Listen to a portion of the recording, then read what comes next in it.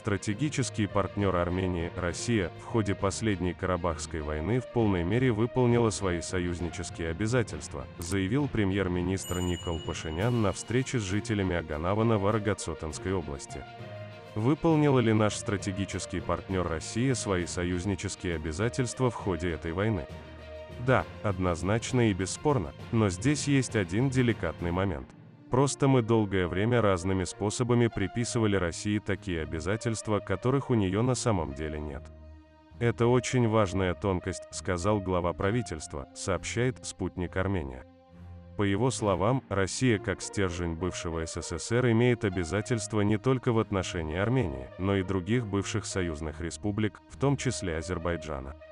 Мы должны понять, что Россия – друг и стратегический союзник Армении, но не враг Азербайджана.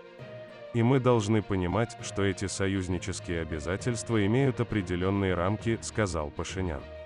Подпишитесь на наш канал Будра News и будьте в курсе всех событий.